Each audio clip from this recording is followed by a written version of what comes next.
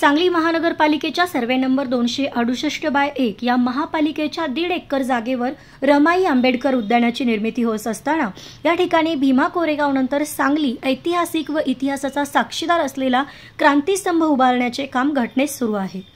भीमा कोरेगाव येथील रणसंग्रामास सन दोन हजार अठरामध्ये दोनशे वर्ष पूर्ण झाल्यानंतर सन अठराशे बावीसमध्ये भीमा कोरेगाव येथे क्रांतिकारक घटनेचे स्मरण व्हावे यासाठी क्रांतीस्तंभ उभारण्यात आला.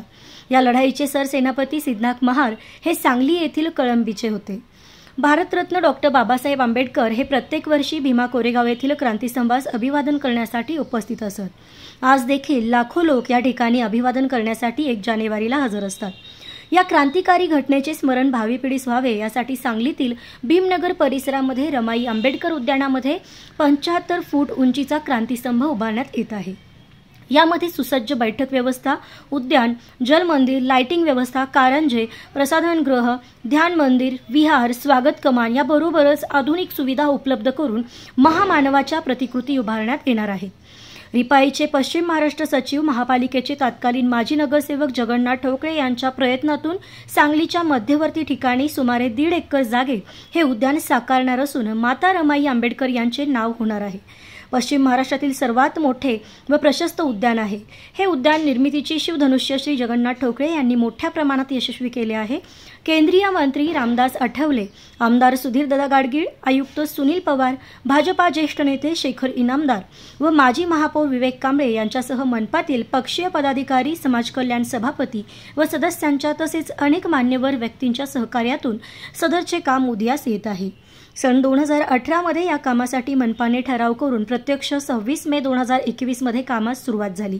सद्यस्थितीत पन्नास टक्के अधिकचे काम पूर्ण झाले असून निधीची कमतरता अजिबात नाही. आर्किटेक्ट प्रमोद पारेख व मे पिनाका कन्सल्टन्सी सांगली यांनी डिझाईन केली असून मक्तेदार विराज शिंदे व विक्रम मोहिते हे कामगिरी करीत आहेत. भीमा कोरेगाव नंतर महाराष्ट्रातील सांगली शहरातच असा क्रांतीस्तंभ उभारण्यात येत असून भविष्यात या ठिकाणी भेट देऊन अभिवादनासाठी मोठ्या प्रमाणात नागरिक येतील अशी अपेक्षा आहे.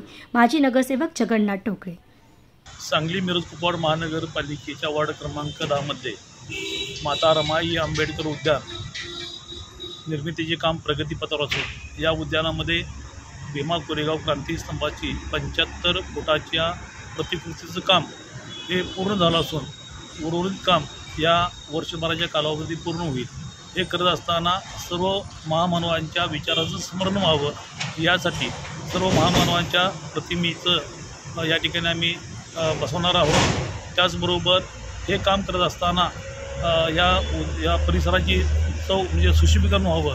यासाठी वृक्षारोपण लोकांची बैठक व्यवस्था त्याचबरोबर कारंजे लाईटिंग हे अनेक वेगवेगळ्या पद्धतीची या ठिकाणी आम्ही सुशोभित सुशोभीकरण करत आहोत.